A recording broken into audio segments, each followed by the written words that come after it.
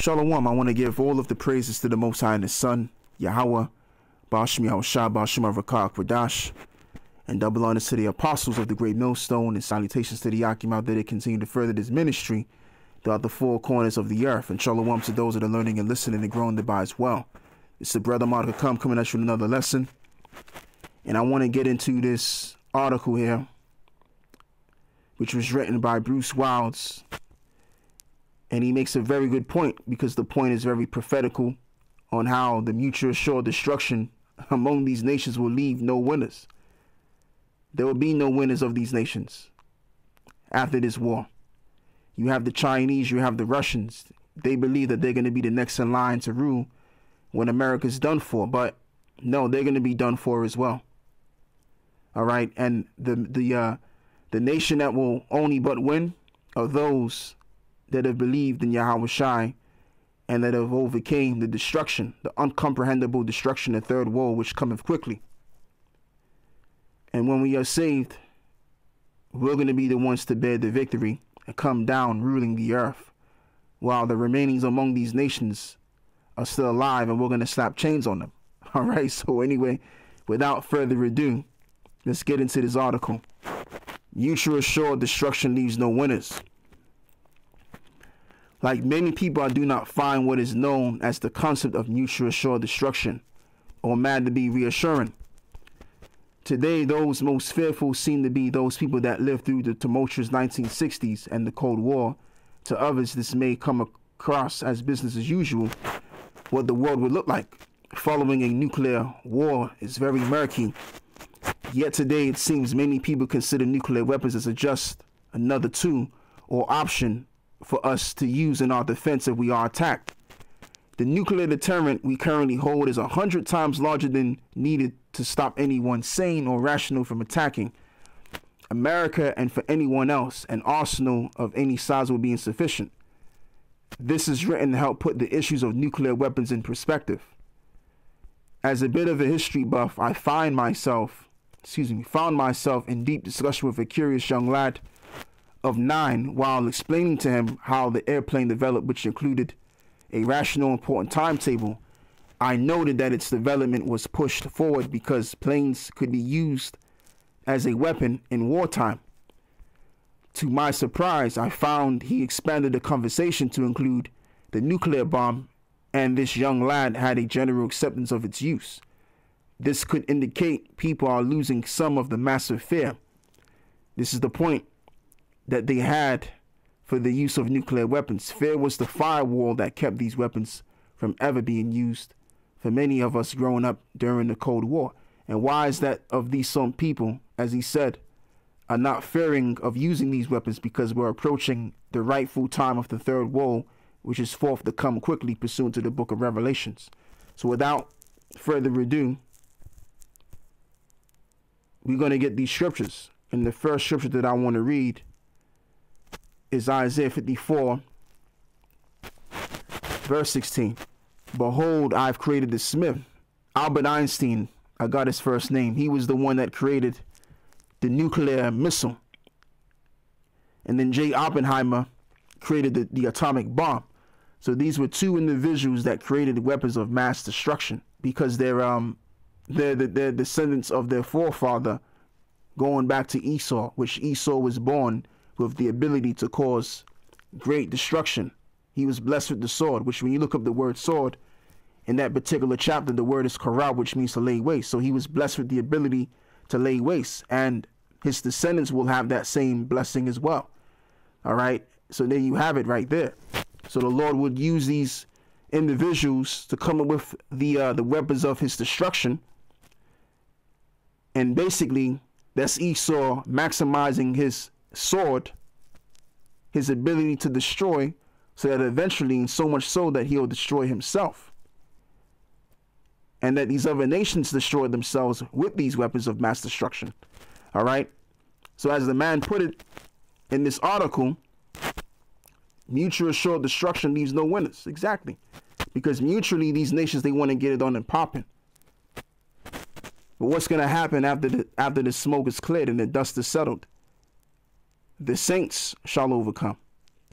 and win at the very end. And these other nations, they're going to be pretty much destroyed and confused, bugged out of their mind after the nuclear destruction. And we're going to slap chains on them bad boys. All right? This is what the Lord has in store to happen. It's preordained, it's prophecy. So, anyway,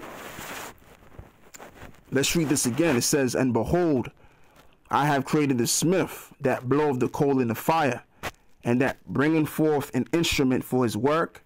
And I've created the waster to destroy. So these missiles are the Lord's missiles, and these missiles are going to do the purpose of the Lord, which is to destroy America to be exact, which is known in the Bible as Old Daughter of Babylon.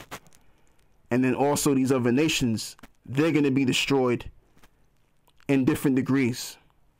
But America will be destroyed at its highest degree. All right? Because that's the land of the great deliverance and that's the land of the great destruction. And that's the land of where most of all of the wickedness that we know about today, which has been promoted from that land or that particular nation that run that land to be exact. Okay? So America would have to get it. The nation that has influenced the world on wickedness. So anyway, let's move forward. Let's get the book of Psalms 7. And we will read. We'll begin with reading verse 12. Psalm 7, verse 12. It says, um, you know, verse 11, it says, The Most High judge of the righteous, and the Most High is angry with the wicked every day. If he turn not, he, he will whet his sword, and he have bent his bow and made it ready. And he have also prepared for him the instruments of death. What is the instruments of death? The nuclear missile. And they're going to be instrumental in destroying all of these different places, man. The main place being at is America. Babylon the Great. This is what we preach about. Like the last video that I did, I was talking about on how the Chinese are gearing their people up to hate on Esau because eventually they're going to wind up fighting them real soon.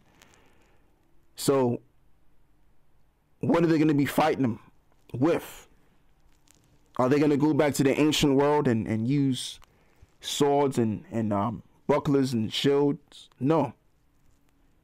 They're going to use missiles and missile defense systems and all of that, which is what they have tanks and all of the weapons of war that they possessed. And so was America. That's what they're going to be using. So as it reads, it says, And he have also prepared for him the instruments of death. He ordained his arrows against the persecutors. Exactly. The modern day persecutors are the so called white people, the Edomites, which have persecuted the Israelites um, time and time again, and still that they do so as well. And that's how also, pursuant to the book of Revelations, I believe it's the 14th chapter. I think I'm wrong on that, where it says, um, The accuser of our brethren has been cast down. How is this devil going to be cast down? By his blessing being used, and then it will be his curse. Verse 14 Behold, he travaileth with iniquity, and he hath conceived mischief trouble, and brought forth falsehood. He made a pit and digged it, and is fallen into the ditch which he made. His mischief shall return upon his own head, and his violent dealing shall come down upon his own pate. I will praise the Lord according to his righteousness, and I will sing praise to the name of the Lord, Yahweh, the Most High. Exactly. So when we're all delivering, that's what we're going to be doing, and as well as we're going to be singing the song of Moses pursuant to the book of Revelations, the 15th chapter. Okay? So that's what's going to be when it's all said and done. When the smoke is cleared and the, you know, the dust is settled, these nations will lose and we will bear the victory. That's who's going to win at the end. And the expectation of the righteousness will come and that we will see the judgment of the wicked. That's what we expect. That's what we look forward to. What else is there to look forward to rather than that? All right. We hastening the coming of the day of the Lord. Let's get that in the book of uh, Peter's.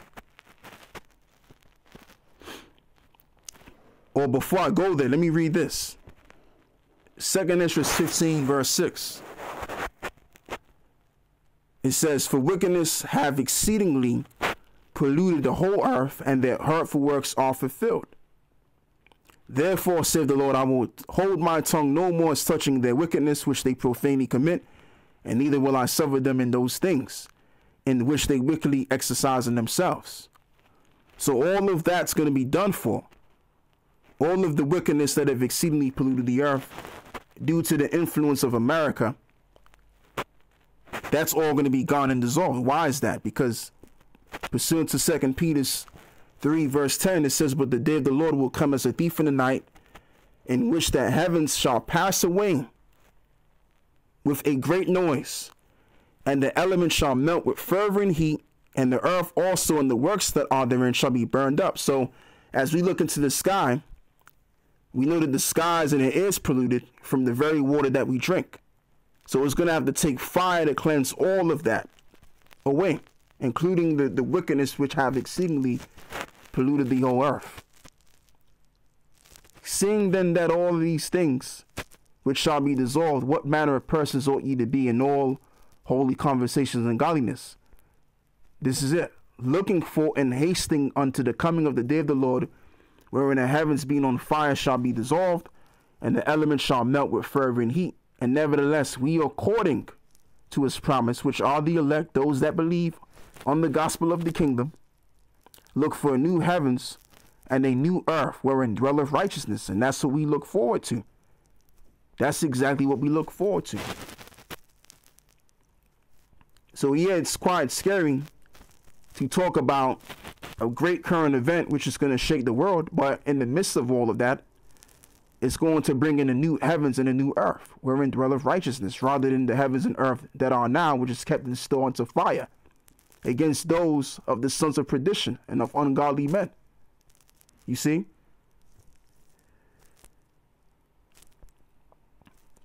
And I think that's it, man. I think I've made my point on this particular article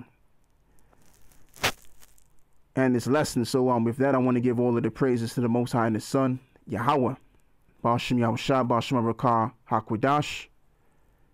And um, shalom to all of the Akim out there. Yahweh Bashim Yahushua, Brakathum to the Akim that's teaching and also to those that are learning and listening and growing thereby as well. And last but not least, but what I should have said first, even unto the men that have taught me this truth, the apostles of the great no millstone.